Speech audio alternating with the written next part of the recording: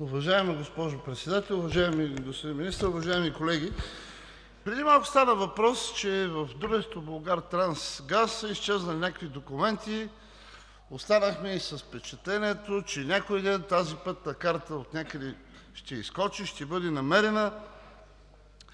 При проверката на КЕВР, която започна на 5 април – после ще коментирам защо е тази датата, бяха установени нарушения почти във всички договори на „Булгартрансгаз“, които е сключвало.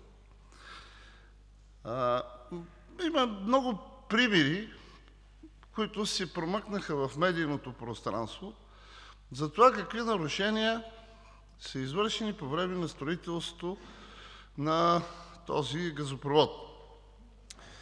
Аз ще питам кой обяснява например, че на входа на България в Турция капацитетът е 15,75 милиарда газ като количество?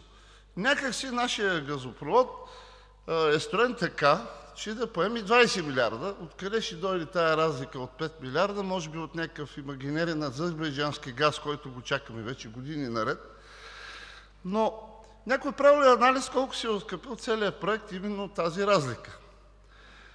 И ще дам няколко примера. Примерно при обхода на Свищов първоначалната стойност на проекта е 8 млн. лв. – 4 милиона доставки и 4 милиона строителство, тоест доставка на оборудване и 4 милиона строителство.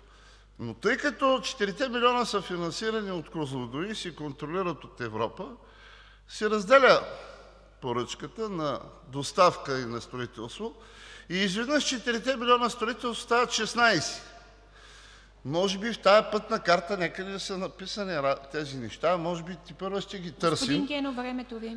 Да, имам още 30 секунди само. Понеже казвам интересни неща, които колегите Да, но ще имате възможност още три въпроса. Да. Продължавам нататък. Същата схема е приложена по трасето Пирдоп – Златица и Панагюрище. И накрая дали трябва да задам въпрос, да си кажа въпроса: не ли е смущаващо за Вас, господин Министър, че тази проверка на КЕВР е изключително закъсняла? 5 април – това е датата след парламентарните избори на другия ден, когато се разбърква така цялата ситуация на статуквото, както казват колегите в България. КЕВР прави закрито съвещание на 3 юли, предоставя доклада на Вас. Идеята ми е какви мерки Вие сте взели от 3 юли досега, за да бъдат сезирани компетентните органи за нарушенията, които са описани в този доклад? Също така Благодаря Ви, господин Генов. трябва ли да разбираме за нарушенията на „Булгартрансгаз“ само от медиите за тези доклади? Кога тези неща ще бъдат обсъдени в българския парламент? Благодаря. Благодаря Ви. Заповядайте.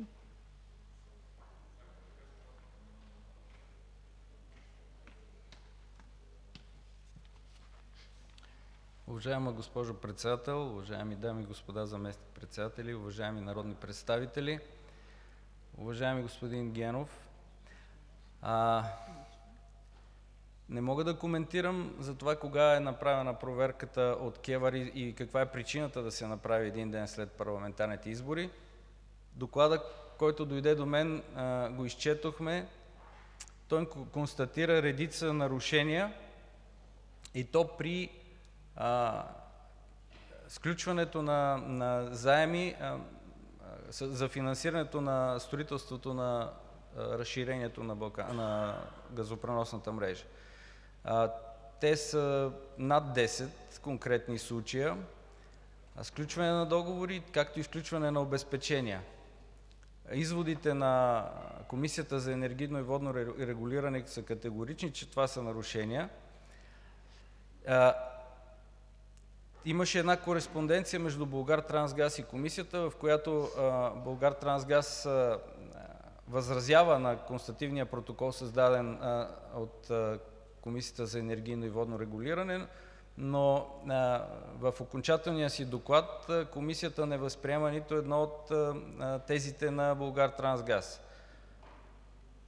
В последствие, тъй като реакция на този доклад от Българския енергиен холдинг нямаше абсолютно никаква, затова бях принуден да искам отстраняване на ръководството на „Булгартрансгаз“, което не се случи.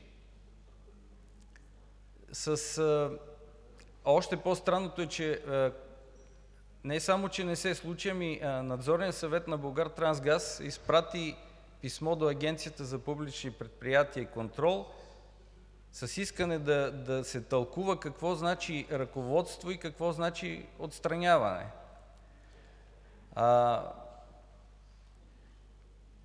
Комисията за енергийно и водно регулиране организира още една проверка, чиито резултати чакаме, и това е проверката за свръхзадлъжнялост и има ли такъв казус на „Булгартрансгаз“.